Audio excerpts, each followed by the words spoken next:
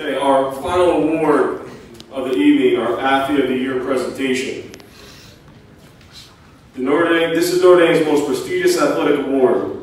The most important criteria for selection, uh, selection is individual achievement and the person's contribution to his team and athletic program as a whole. The award is selected by the vote of all head coaches. This year, the award is given to a two-sport athlete. As a football player, he was named first team All-SCC, Levi Jackson All-Star Team, Walter Camp All-Star Team. He's a touchdown leader the last two seasons. He has played, as Coach DiCaprio alluded to to me earlier today, he has done kickoff returns, he has covered kicks, he has played running back, wide receiver, quarterback. As a lacrosse player, he's the all-time goals leader for Notre Dame High School. He was all SCC and All-State as a junior, and presumably will be again as a senior. He will attend UMass next year. This year's Athlete of the Year for 2019, Zach Hochman.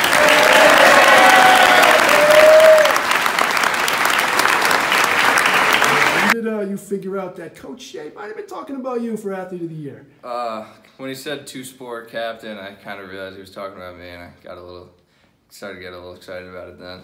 Did you think coming into tonight that you might you have a chance to walk away with the uh, highest award that we give athletically? Uh, I knew it was a possibility, but I also know that there's plenty of great athletes in my class who all are deserving of it. So um, I just figured maybe, maybe not. And I announced, you know, there's a lot of records that you hold. Is, is there one that means a little more to you than the rest of them? Uh, I think the goals record means a lot to me. Uh, previous holder was Ed Moran, who was a great lacrosse player. So it's um, it, it's nice to have that award and have it broken it by a, a kid who was a great player. So that one means a lot to me. Going to UMass to play lacrosse, you know, what, what do you hope to accomplish at the next level? Uh, I hope to just you know continue working hard and accomplish everything I've done here, which is just just always hard work on the field and always playing as hard as possible, which is I think puts me in the best situation. What are you going to miss about not having Zach next year? Oh my God, do we have an hour to speak?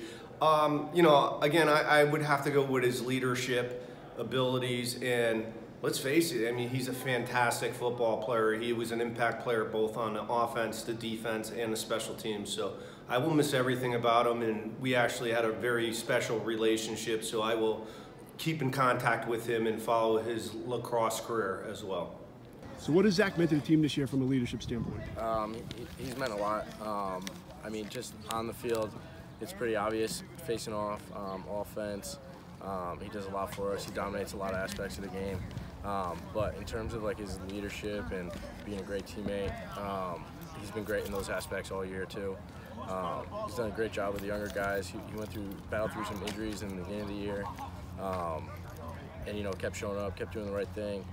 Um, was was there for the guys, and uh, you know was a leader throughout that whole time. Uh, and then you know, when we got him back on the field in like his full capacity, it was uh, you could tell the difference that he made, for sure.